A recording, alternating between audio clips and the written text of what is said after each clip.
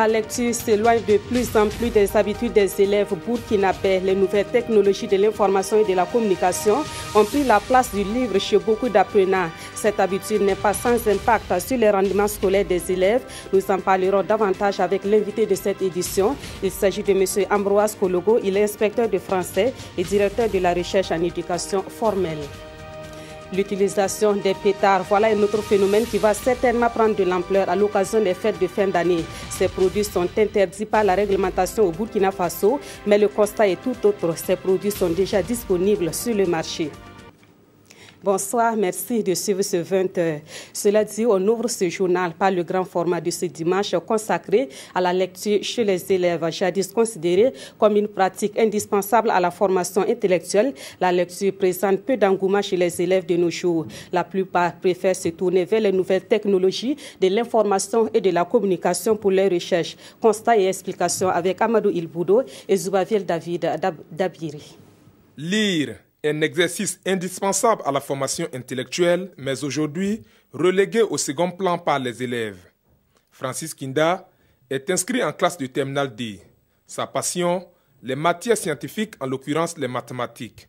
Pour ce jeune apprenant, la lecture, on peut s'en passer. D'abord, pour lire, il faut, il faut avoir une certaine envie avant de lire. Bon, mais moi, dès mon examen du BPC, quand je me suis projeté pour la série scientifique, non, je ne me suis pas trop attardé sur la littérature. Bon, j'ai pas trop l'envie de sur les lectures, quoi. Je ne lis pas trop, en fait. Un manque d'engouement pour la lecture dans un contexte d'explosion des nouvelles technologies.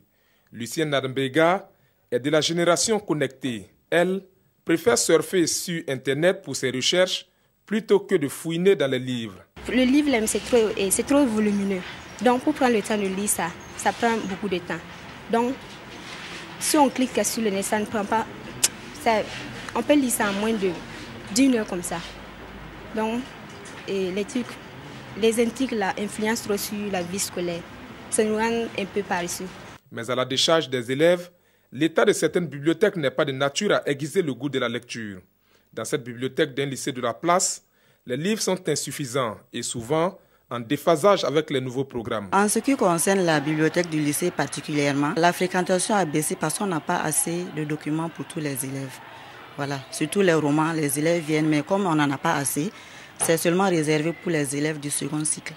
Donc les élèves du premier cycle n'y ont pas droit parce qu'il n'y en a pas assez. La conséquence de tout cela, c'est qu'au fil du temps, une baisse significative de niveau est remarquée chez les élèves, surtout en matière de rédaction une situation qui inquiète les enseignants. Je tiens par exemple ces élèves de, de terminale là, très souvent au niveau de la correction, ils ont des problèmes pour exprimer leurs idées. On imagine un peu ce qu'ils veulent dire, mais la manière de formuler l'idée, c'est pas du tout ça. Voilà, c'est à travers la lecture qu'on peut acquérir, euh, acquérir tout ça. Même au niveau de la participation en classe, ça joue beaucoup. Pour y remédier, Certains enseignants suggèrent une introduction de la lecture comme matière à noter. Aussi, l'initiation à la lecture des versions numériques des ouvrages au programme pourrait contribuer à résoudre ce problème de plus en plus préoccupant dans le monde scolaire et comment encourager la lecture dans une société burkinabé où l'oralité occupe encore une place importante. La question a été posée à des acteurs littéraires de Bobo Djilasso qui estiment que l'amour de la lecture se cultive avant tout. Mais chez les jeunes bobolais, les avis divergent sur l'importance même de cette culture. Drissa Traoré, Hassan Gourabou et Kadou Menki.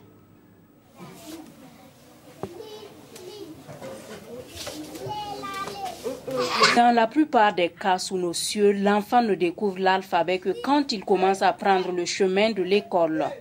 Lire, une vertu à cultiver. Et pour certains acteurs littéraires, il est temps que la littérature africaine prenne un ancrage régional. Moi, j'ai rencontré une étudiante de première qui me dit que le livre qui leur est imposé cette année, c'était euh, Candide de Voltaire. Ok. Je lui ai dit l'année dernière, tu as lu quoi? Elle m'a dit, j'ai lu Germinal. Ok, d'accord. Mais est-ce qu'on vous a recommandé un auteur africain au burkinabé? Non. Es-tu capable de me citer deux auteurs burkinabés? Non. Alors qu'on a des écrivains burkinabés qui ont sorti des livres qui peuvent être imposés, vous savez, qui nous ne sommes pas capables de raconter notre histoire, de parler de nous-mêmes à travers nos auteurs, à travers notre littérature et l'offrir à nos enfants, d'autres personnes viendront offrir leur littérature à nos enfants. Et quand vous laissez l'éducation de votre enfant à votre voisin, ne vous étonnez pas ensuite qu'il parle, qu'il mange, qu'il boive, qu'il chante, qu'il danse comme le voisin. Une bonne guerre, mais encore faut-il que la jeunesse ait le goût de la lecture. Et sur la question, les avis divergent. Si nous prenons le cas des frères, l'œuvre, les frères de Bentou d'Amadou Kone, cette œuvre nous permet de prendre garde des grossesses précoces dans le milieu scolaire. Ensuite, je peux dire que la lecture nous permet de s'évader à travers les mots. Par la lecture, on peut se distraire. Enfin, je, je dis que la lecture est intéressante parce qu'à travers la lecture, on découvre plus les mots. Vraiment, vraiment, la lecture, c'est pas mon genre. J'aime pas lire, j'aime pas la lecture. Parce que on rencontre certains mots dans des romans, donc vraiment les sens sont un peu vraiment difficiles.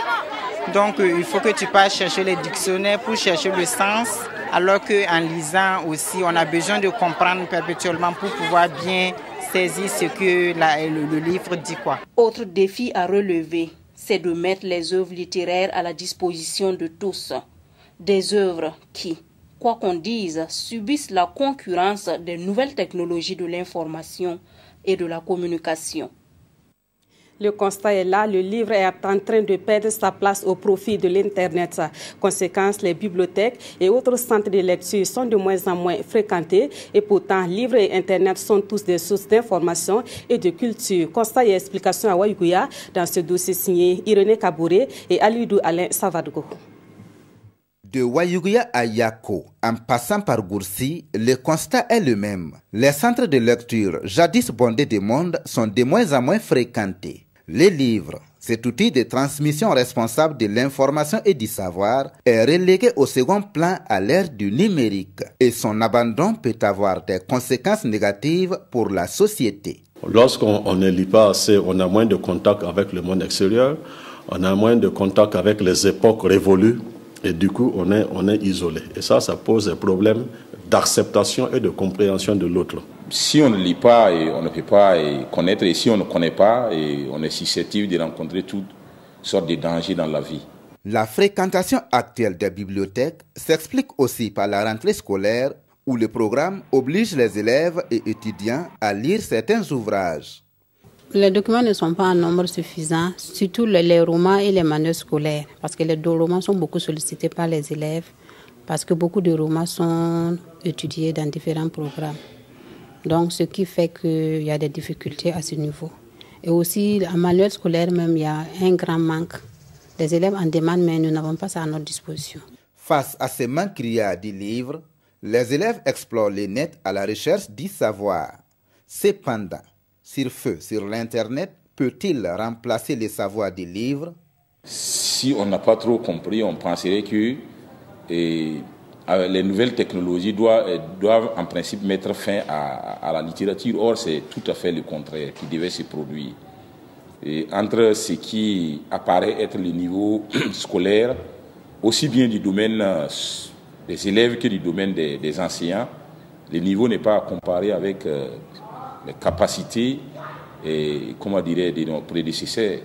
Donc tout cela est explicable un peu par le fait que nous ayons abandonné tout simplement, supprimé les livres de nos habitudes. Selon les littéraires, la lecture n'est pas seulement l'apanage des élèves ou professeurs, mais devrait concerner toutes les couches sociales. La bibliothèque est beaucoup fréquentée par et certaines couches de la population, notamment les enseignants, les professeurs.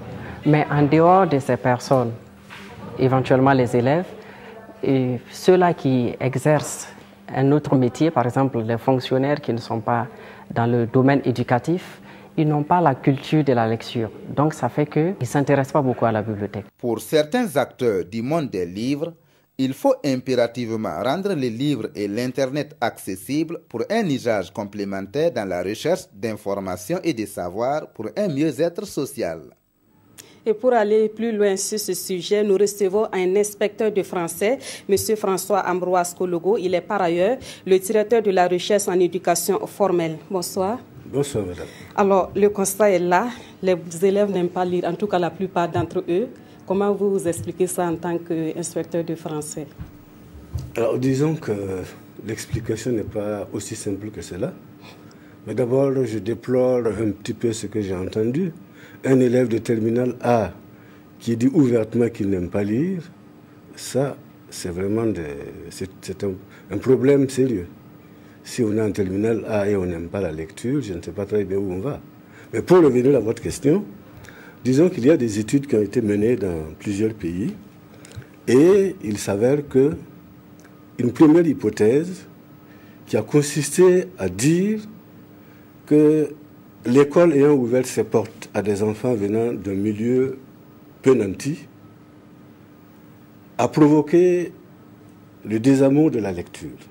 Parce que ces enfants qui sont venus d'un horizon où les parents n'avaient pas la tradition de lire ont augmenté le nombre de lecteurs. Après vérification, il s'est avéré que cela est une aberration. Parce que les élèves issus du milieu nanti ne lisaient pas plus que ceux du milieu moins nanti. Deuxième hypothèse, on a pensé que l'Internet, les ordinateurs, les smartphones ont relégué la lecture à un second plan. Là aussi, on a vérifié l'hypothèse, elle n'est pas vérifiée. Il s'est avéré que le, il y a des gens qui utilisent bien ces appareils-là et qui lisent beaucoup plus que d'autres qui ne les ont même pas. Du coup, ce n'est pas ça l'explication. Vous voulez dire que tout ce qui est ressorti dans les reportages, ce n'est pas la réalité? C'est la réalité. C'est la réalité. la troisième hypothèse, c'est qu'on a pensé que le sport, la musique, le cinéma, les loisirs d'une manière générale ont pris la place de la lecture. Là aussi, après vérification, il s'est avéré que plusieurs personnes qui pratiquent plusieurs sports à la fois et qui vont au cinéma lisent beaucoup plus que ceux qui font moins de sport. Et finalement, qu'est-ce qui Et finalement, on est arrivé à la conclusion que le livre est perçu par un certain nombre d'élèves comme étant l'expression de l'autorité parentale ou de l'autorité de l'enseignant.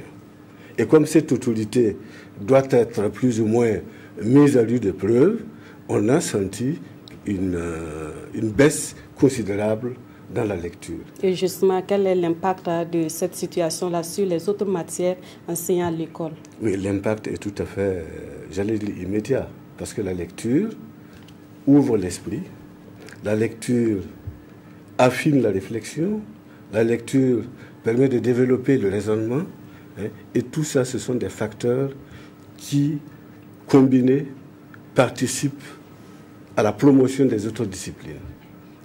Alors, il y a, c'est ressorti également dans les reportages, la plupart des établissements n'ont pas de bibliothèque et s'ils en ont, ces bibliothèques-là sont pauvres entre griffes. Alors, en ce moment, est-ce que ce n'est pas l'autorité même qui est responsable de cette situation-là? Oui, ça c'est une triste vérité. la plupart des établissements aujourd'hui n'ont pas de bibliothèque et c'est un constat. Quand elles existent, elles sont pauvres, complètement démunies, ou alors ce sont des, livres complètement dépassés. Et, ou encore euh, les exemplaires qui existent sont tellement réduits que les élèves ne peuvent pas véritablement les exploiter. La responsabilité de l'État, oui, pourquoi pas. On on peut pas dire que l'État est tout à fait blanc comme neige dans cette situation-là. Il faut bien faire quelque chose, mais il n'y a pas que l'État. Justement, et quelle est la part euh, de responsabilité des parents? Les parents ont aussi leur part de responsabilité. Moi, je suis allé dans une classe à 35 km de Ouagadougou et j'ai suivi un cours de français. Et quand le professeur a dit à ses élèves, prenez vos livres, il y a deux seuls élèves qui avaient un livre de lecture dans une classe de 72 élèves.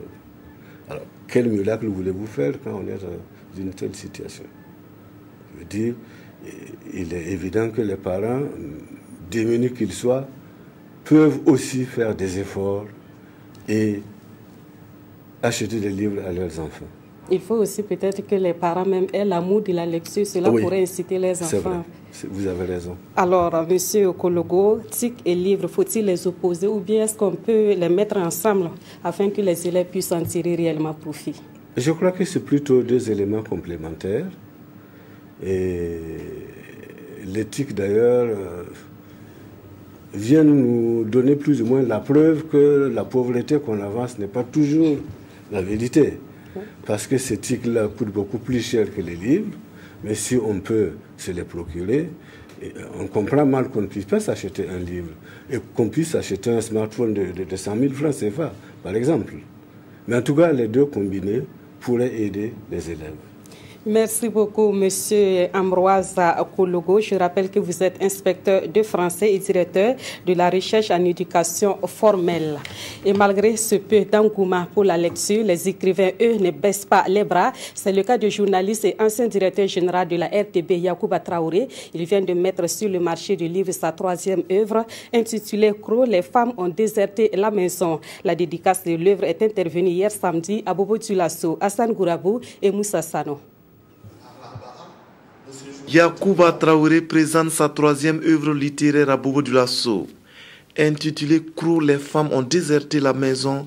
C'est un roman où l'auteur nous plonge dans Bobo du Lasso des années 1970 à travers l'histoire d'Irianata, une adolescente contrainte de quitter le Ghana pour venir poursuivre ses études dans cette ville. Crou, c'est vrai, c'est mon premier roman. C'est d'abord une quête d'identité. C'est une quête d'identité euh, parce que moi, euh, petit-fils de Ouedraogo, Ouedraogo qui a épousé une Tchadienne, hein, venu s'installer au Burkina, qui a changé, n'est-ce pas, son nom de, de Traoré.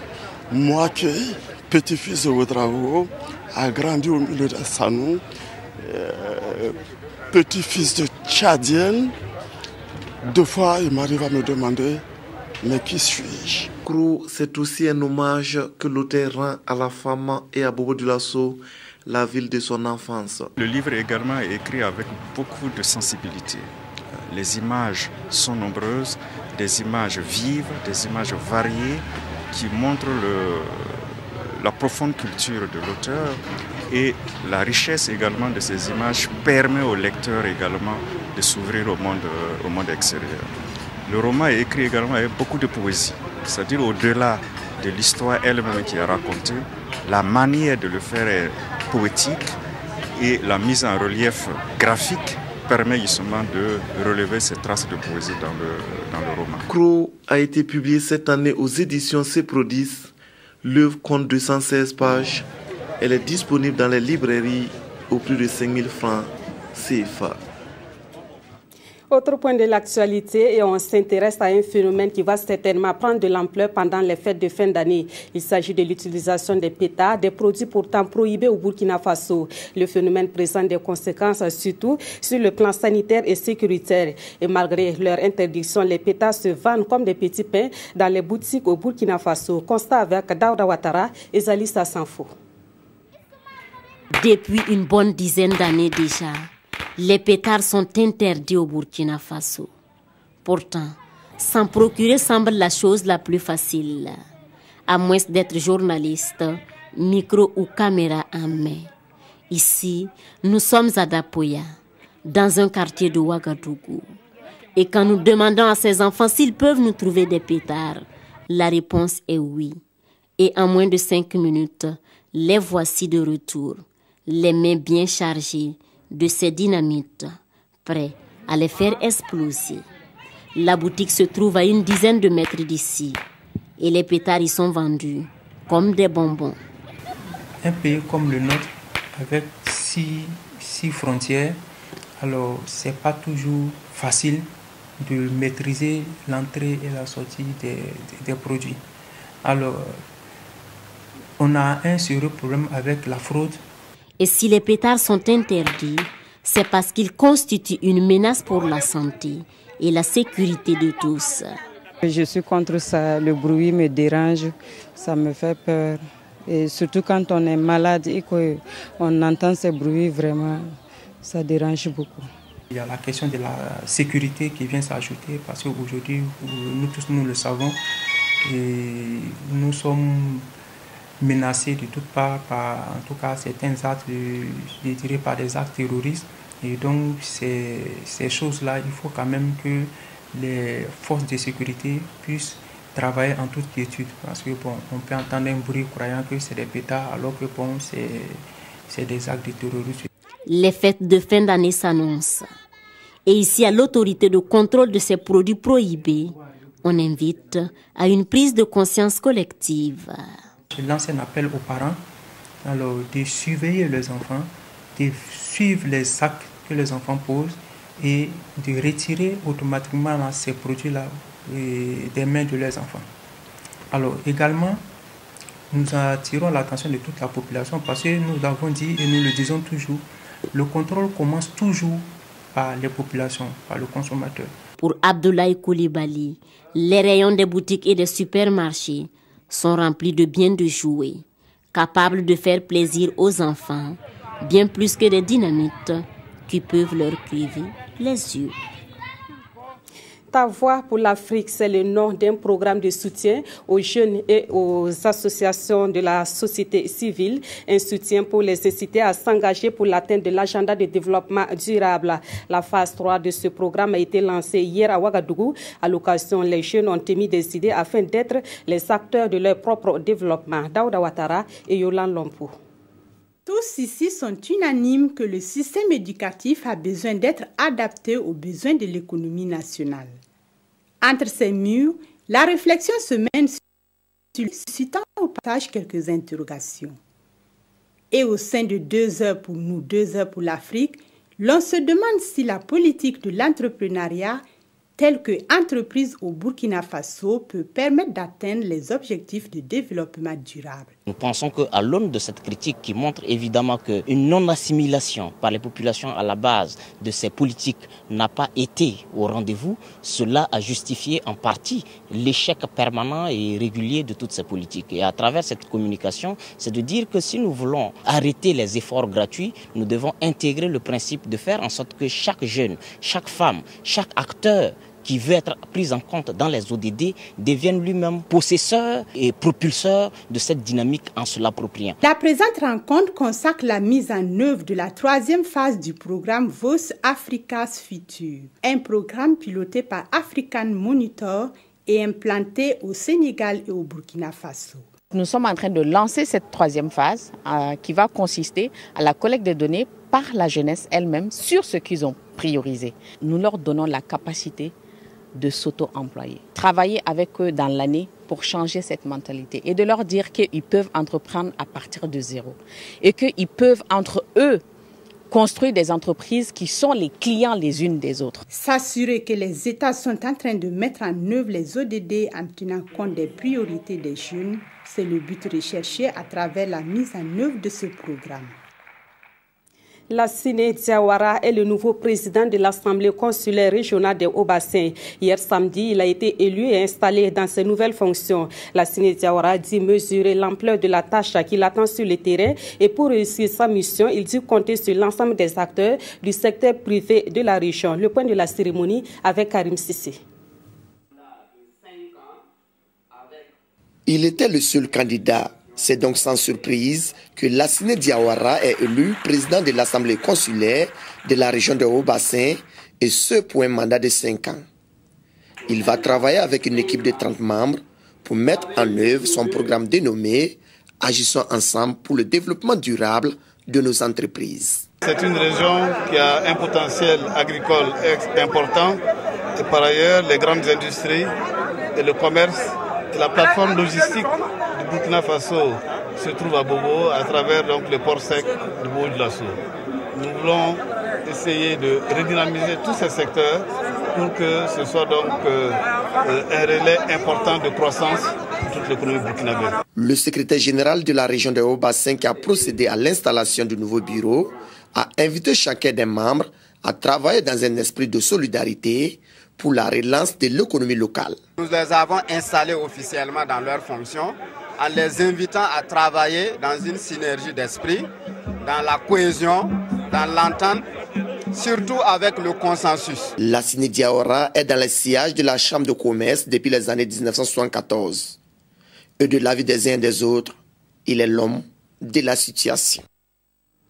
À Dori, les membres de la cellule coopération entre les collectivités locales du Sahel se sont concertés en vue de donner un nouvel élan à leur structure. Et cette concertation a abouti à la validation de textes et à la mise en place d'un comité de pilotage des activités de cette cellule. Et dans l'immédiat, il a été décidé de lancer la construction d'une usine de fabrique d'aliments pour bétail. Plus de précisions avec Martin Ouedrago et Sekou Zongo.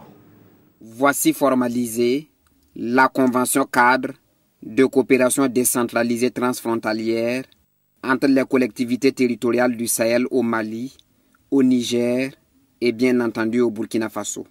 Un projet de coopération souhaité depuis 2011 qui se concrétise ici par la signature de la convention cadre. Avec la signature de cette convention, et avec l'appui de nos partenaires, nous avons des ambitions un peu plus grandes. Nous allons formaliser davantage euh, cette cellule et lui donner les moyens de grandir pour répondre aux besoins de ces populations.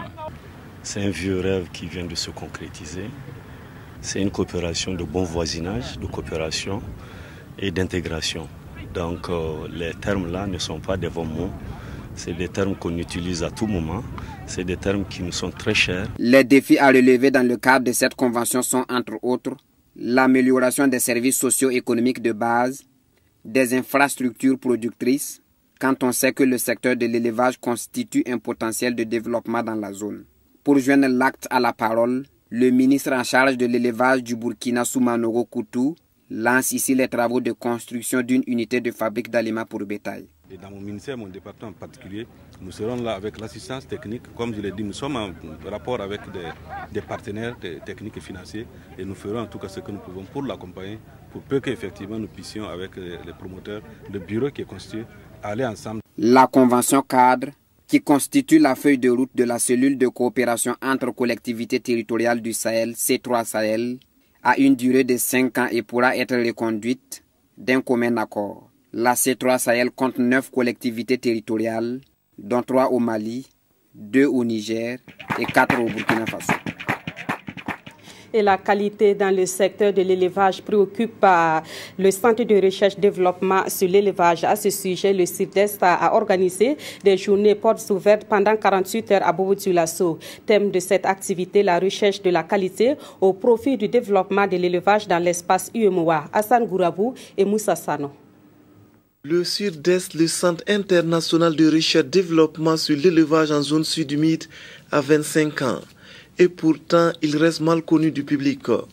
En organisant ses premières journées portes ouvertes et à travers ses expositions fruits de ses travaux, l'institution entend mieux se faire connaître, surtout à Bobo de où se trouve son siège. Le centre a été créé en, 1991 à Abidjan. Aujourd'hui, le centre a 25 ans. Il fallait faire connaître nos activités à la population euh, de la ville dans laquelle nous nous trouvons, mais aussi euh, à la population du Burkina Faso et au monde entier. Donc c'est l'objectif principal de, cette, euh, ces journées portes ouvertes. L'initiative est saluée par les autorités pour qui ces journées représentent une occasion pour les populations de découvrir les activités du Sud-Est. Il y a vraiment un grand travail qui se fait à l'intérieur de ce centre qui profite aux différents États membres il était quand même important que la population puisse prendre connaissance de ces différentes euh, recherches qui se font ici. Alors donc, euh, au nom du ministre des Ressources animales, je voudrais une fois de plus féliciter donc euh, la directrice générale et tout le conseil scientifique pour le travail qui est abattu. Créé au départ avec les cinq pays du Conseil de l'entente, le CIDES compte aujourd'hui huit États membres. Une de ses missions, la recherche appliquée sur l'élevage et les pathologies animal.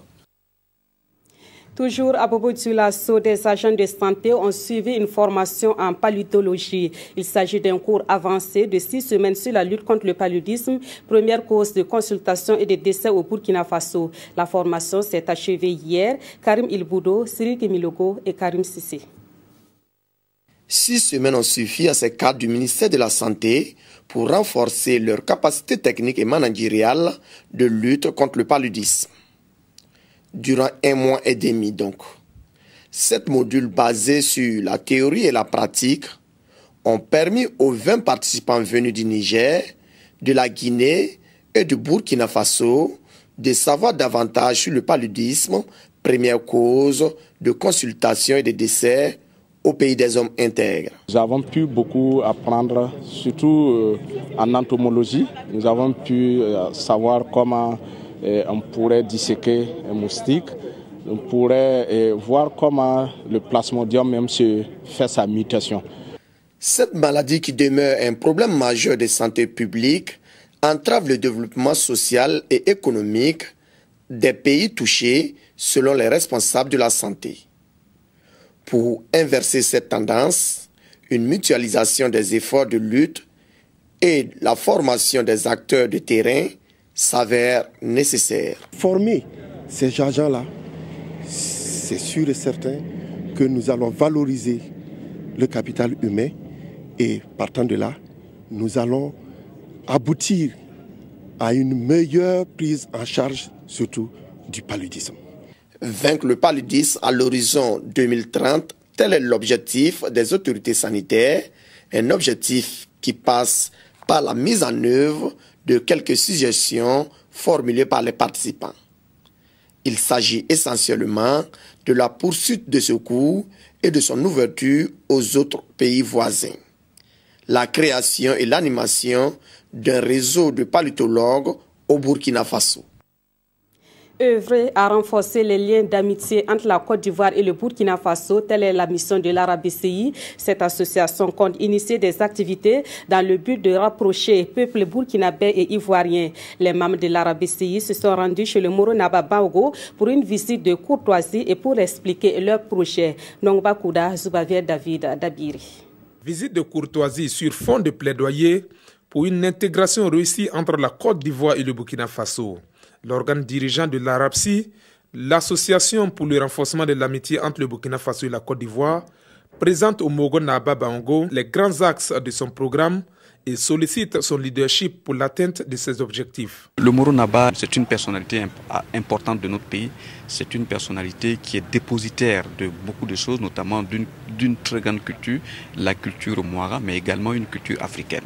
Donc ce matin, en lui rendant visite, nous, nous avions deux objectifs. Le premier, c'était de présenter notre, notre association à Sa Majesté, et ce que Sa Majesté a apprécié à sa juste valeur. Et puis deuxièmement, demander à Sa Majesté de nous aider à, tenir, mm, à, diriger, à organiser eh, l'ensemble de nos activités et de nous aider à, à faire de telle sorte que les populations à la base puissent s'approprier cette association. Créée en septembre 2016, l'Arabsie se veut une association apolitique.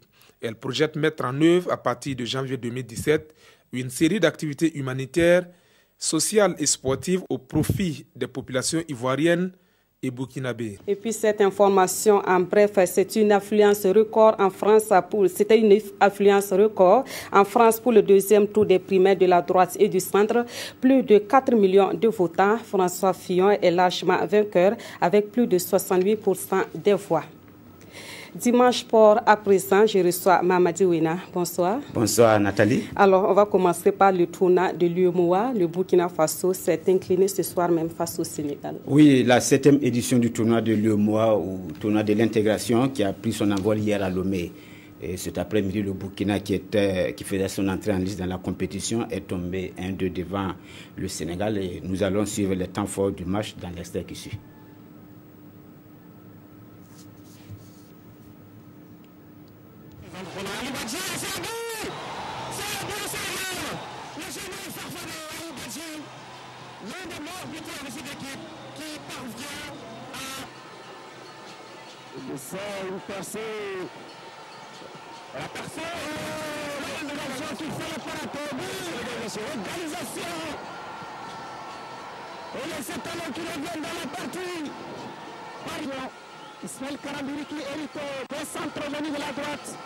Et ballon repris, manqué par Oka.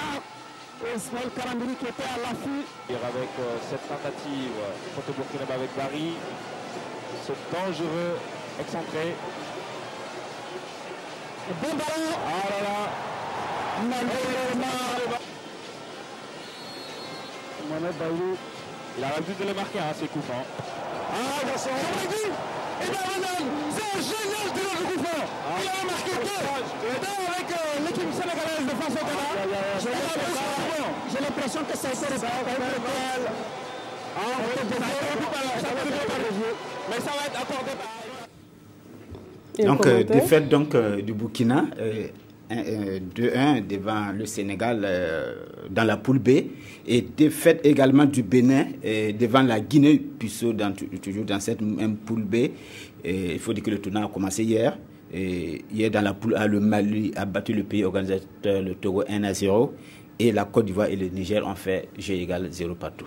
Alors, Mamadi Ouena, c'est parti également pour le championnat national de football de première division. Le RCK, tenant du titre, annonce déjà les couleurs en battant le COSAF par le score de 2 buts à 0. Oui, euh, le marathon qui a débuté vendredi dernier et hier au stade municipal suffit Joseph Colombo, alors que nous allons suivre les images, le RCK le premier but du SK comme ça. Le SK entame bien cette saison en battant COSAF 2 à 0, alors que nous revenons à ce premier but réalisé par Roger Sirima à la 19e minute.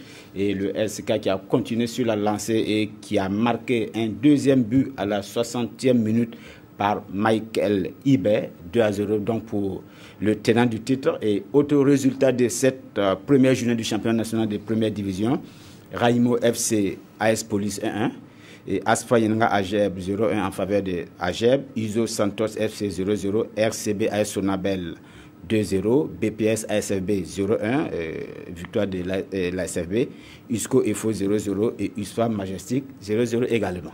Merci beaucoup Mamadi Ouena pour toutes ces informations sportives. Voilà, c'est la fin du 20h de ce dimanche. Merci de l'avoir suivi et merci surtout de rester fidèle au programme de la RTB.